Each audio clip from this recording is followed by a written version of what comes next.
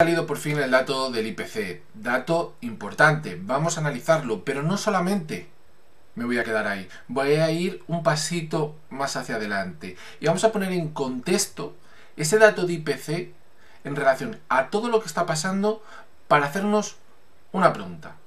¿Estamos en recesión? ¿España va a adelantar esa recesión antes? ¿Vamos a ir a recesión? Creo que son preguntas importantes que todos nos debemos de hacer. Tenemos que empezar a tener claro todo lo que está ocurriendo en el contexto macro porque hay veces que cuando uno se pone a relatar lo que está ocurriendo, a veces se olvidan datos, se olvidan noticias, porque son tantas cosas que en este caso no son favorables y no hay que descartarlas. Por tanto, te invito a que veas el vídeo, que analicemos el IPC, que analicemos el contexto en el cual quizás o no estemos en recesión. ¡Comenzamos! estás viendo, este es el gráfico de último sobre la evolución del IPC. Como vemos, aquí fue cuando se llega al 10,8, 10,5 y ahora ha bajado pues al 9. ¿Es un buen dato? Sí, claro que haya bajado un puntito y medio, no está mal. ¿Realmente ese impacto tú lo has llegado a notar? Posiblemente no. Posiblemente no, esa es la realidad. Incluso, fíjate, si nos vamos a la subyacente, que también ha caído del 6,4 al 6,2, que es la línea gris que ves aquí, bueno, ha bajado. ¿El impacto de esta bajada es tan grande para que lo hayas notado en tus bolsillos? No. No. Eh, ¿Por qué ha bajado? Pues porque el gas y el, y el y el crudo, el petróleo, han caído. Vamos a ver un momento eh, el gráfico para que entiendas el contexto en este punto. Gráfico del gas, estamos viendo desde el año 2014 cómo ha caído, tiene aquí un repunte en 2018 y desde el 2020 tuvo toda esta subida, caída y los máximos que vimos a lo largo de este año. Voy a hacer un poquito más grande, vemos cómo desde agosto ha ido eh, cayendo, es decir, no lleva cayendo todo el verano, ha caído en agosto, también principalmente porque se consume menos gas eh, al hacer buen tiempo, pero también a que de cara al medio y el largo plazo, el contexto en el cual se sitúan los institucionales, que son los que hacen mover realmente los mercados y los precios, eh, están viendo que va a haber una reducción de la demanda. Veremos qué ocurre realmente cuando llegue eh, las épocas de frío, que estamos a las, a las puertas, en función de la zona, por ejemplo en España, lleva haciendo más frío que en otras. Quizás no todavía para dar ese salto, porque te puedes abrigar en casa, bueno, pero nos vamos acercando ya a eh, fechas donde se empieza a poner la calefacción.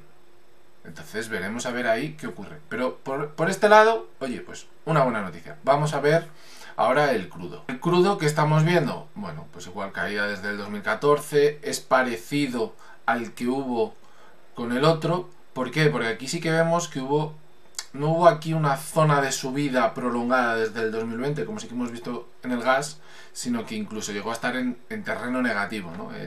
El, crudo este que estamos viendo es el americano, luego la parte de máximos, cuando lo has visto en el gas parece que está mucho más arriba, etcétera. Bueno, también es como pongas tu gráfico visualmente, eh, bueno, puede parecer más o menos, pero esto fue pues también gravísimo, para que nos entendamos.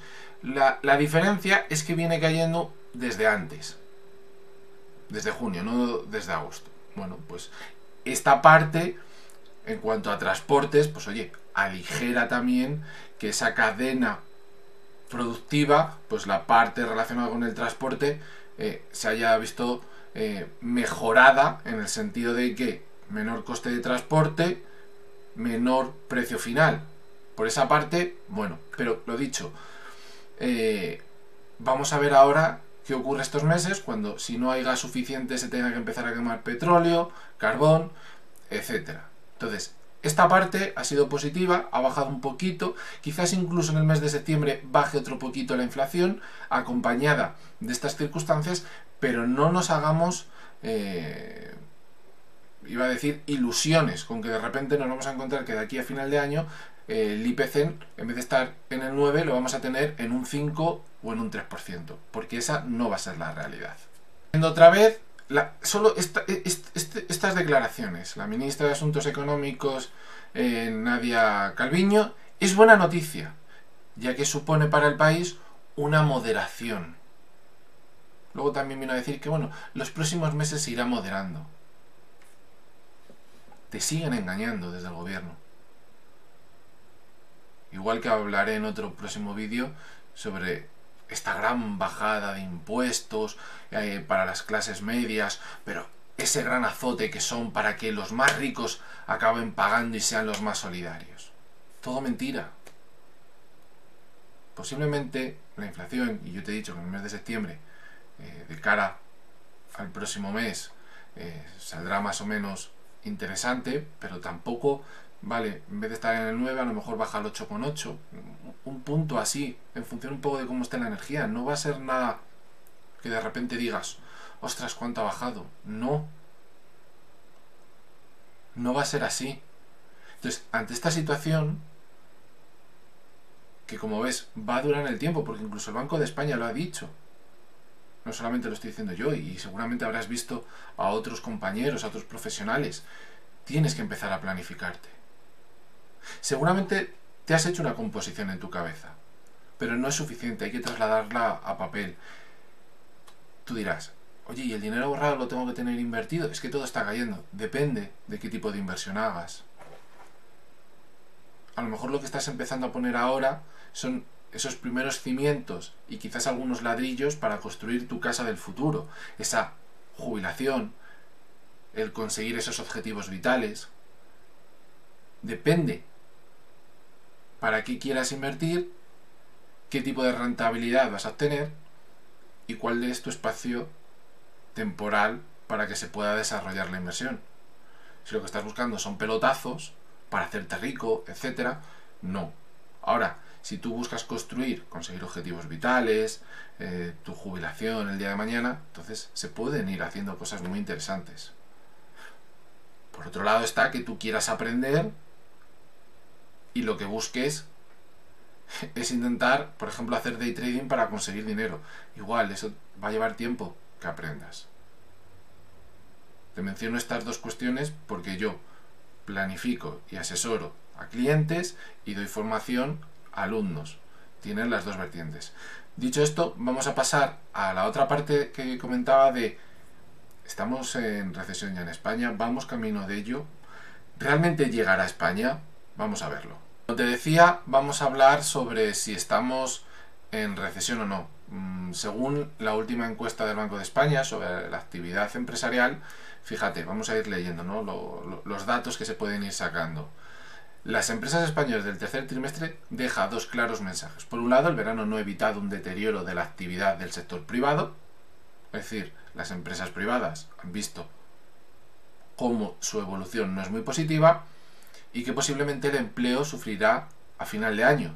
Recordemos el mal dato de paro del mes de agosto. Seguimos. La última encuesta apunta que la actividad empresarial ha sufrido un deterioro, es decir, ha reducido su facturación en el tercer trimestre, a pesar de que los sectores vinculados al turismo mantuvieron un elevado dinamismo en los meses de verano, y no solo los meses de verano, para mí desde mucho antes, desde la etapa de Semana Santa, todo ese periodo hasta prácticamente el mes de octubre, porque sabemos que en el mes de octubre todavía hay zonas donde hace muy buen tiempo y la gente va a veranear, todo lo que es el sector eh, turístico y todo lo relacionado con él, posiblemente le ha ido bien. En cambio, ha habido otros sectores, como siempre, privados, que les ha ido mal. ¿Por qué digo privados? Porque al público, porque el gobierno ha recaudado alrededor de un 18% más con toda esta crisis que estamos sufriendo. Pero sigamos. El motivo, según Mario Izquierdo, economista del Banco de España y autor del informe, hay que buscarlo en el encarecimiento del precio de la energía. Volvemos a hablar de los gráficos que hemos visto. Han ido reduciendo sus precios, pero desde el principio de año hasta esa reducción, el gas solamente ha sido desde el mes de agosto, el petróleo desde junio. Eh, el informe apunta a los sectores industriales, construcción y agricultura como los que más sufrieron un descenso del volumen del negocio entre julio y septiembre. Son los sectores más expuestos al incremento de qué? Del coste de los suministros, ya sea cemento, fertilizantes o materias primas de todo tipo.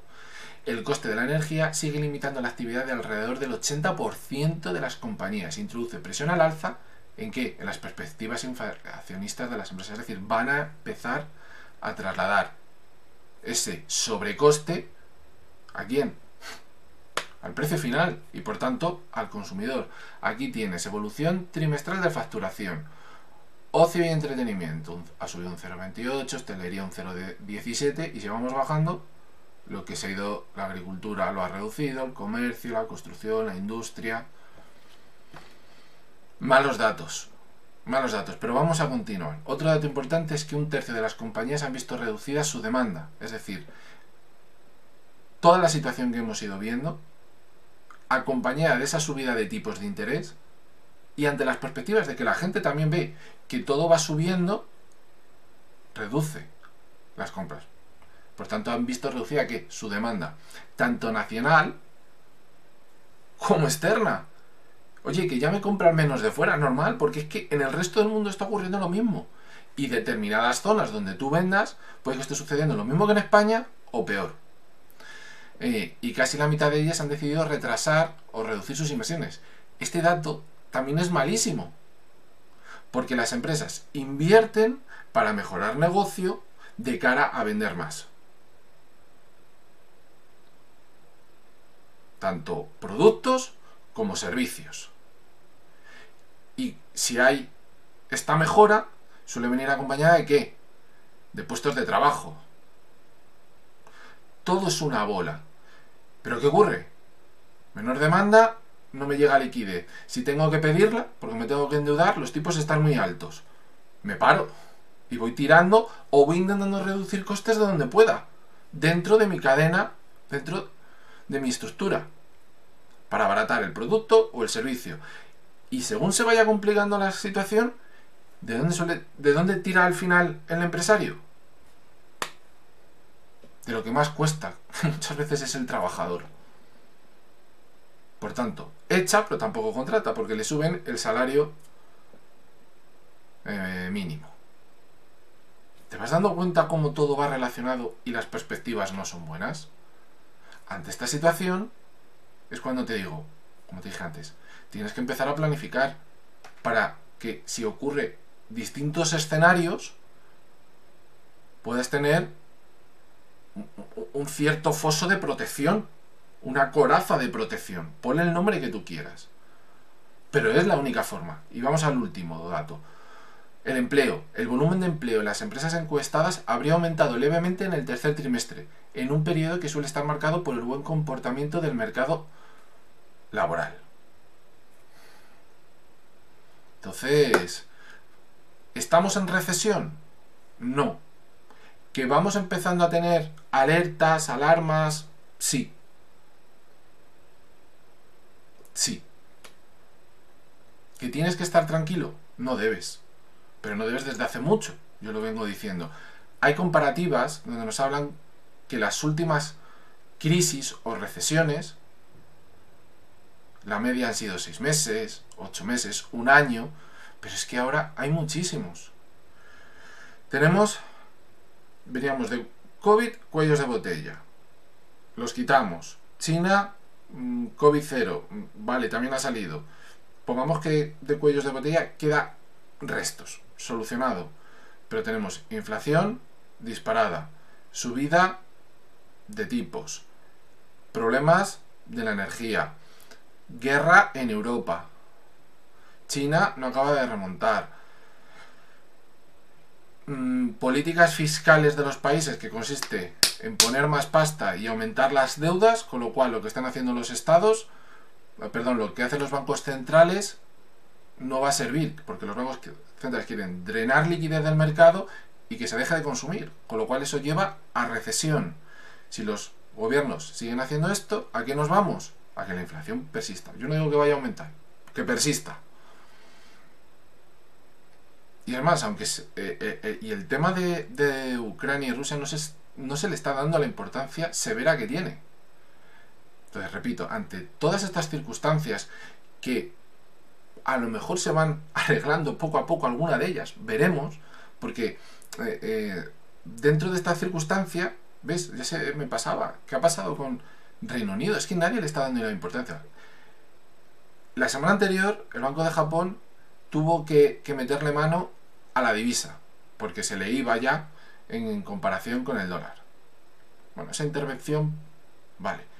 Pero que el gobierno del Reino Unido haya tenido que intervenir, bueno, el gobierno no, el Banco Central del Reino Unido haya tenido que invertir para comprar deuda a 30 años porque los margin calls de los fondos de pensiones por utilizar productos, vamos a decir, derivados, estructurados, son muy complejos.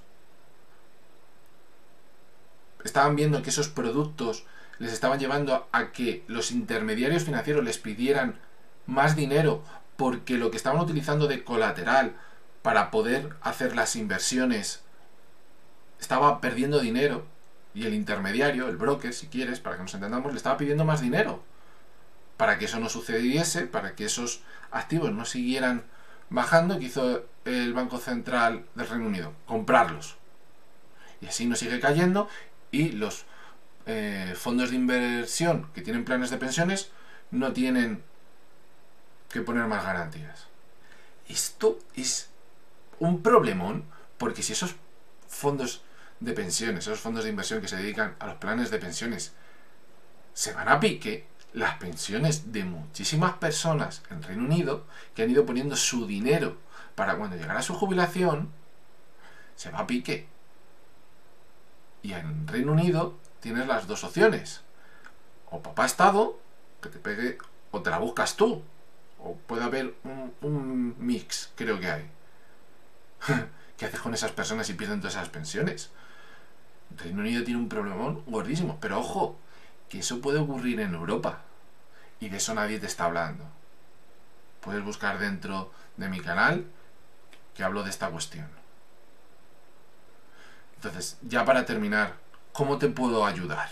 Esa sería la respuesta. Pues te puedo ayudar. Para cómo planificar, tienes también vídeos míos, donde te lo explico, paso por paso, cómo debes de hacerlo. Y, también te hablo de otras modalidades que no son siguiendo una norma internacional de calidad, como sigo yo, sino vamos a decir trucos eh, populares. Pero, ¿cómo te puedo ayudar? Con un proceso de planificación y luego posteriormente de asesoramiento, donde yo te ayudo a realizar todo ese trámite, o bien desde la parte formativa. Te enseño a hacer tu planificación y luego te enseño a invertir. Tienes las dos posibilidades. Es más, si te formas y lo que quieres es trabajar en el sector de servicios financieros, yo te ayudo a que te presentes a un examen para que te puedas sacar el, título de asesor financiero y luego tienes la posibilidad de que te puedo ofrecer eh, una, una beca para que puedas trabajar conmigo.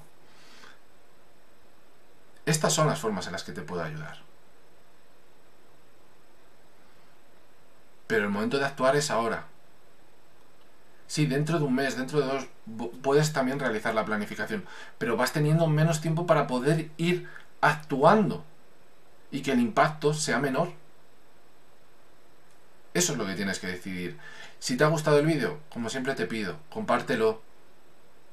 Cuantas más personas se enteren de lo que está pasando realmente y tomen acción, seremos una comunidad financieramente más saludable. Así que te invito a que te suscribas, que des tus likes, que me dejes comentarios y que también espero, por supuesto, haberte aportado valor y que te haya gustado el vídeo. Nos vemos en el siguiente. Un saludo.